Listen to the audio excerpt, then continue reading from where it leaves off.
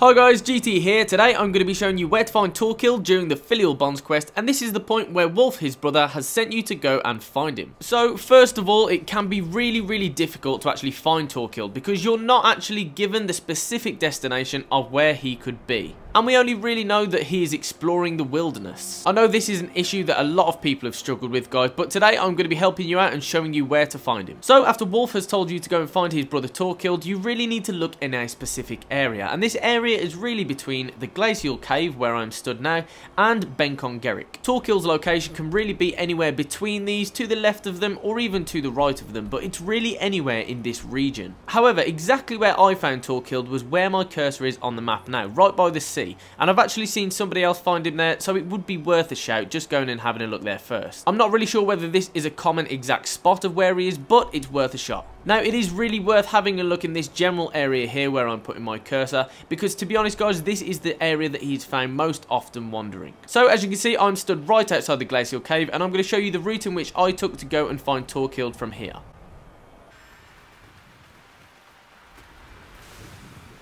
And as you can see, Torkild is just here on the beach. He's not really moving or doing anything, he's kind of just stood there. And when you do find him, all you need to do is walk up to him. So sit back and watch what happens when you do.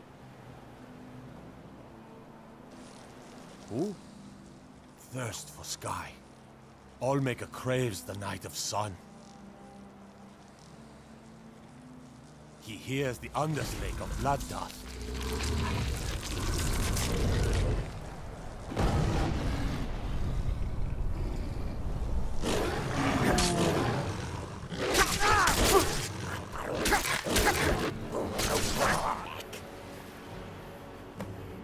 And as you can see, Torkild was actually a werebear. So guys, once Torkild is dead, go ahead and search him. All you need to do now is read the letter and then go back to Wulf.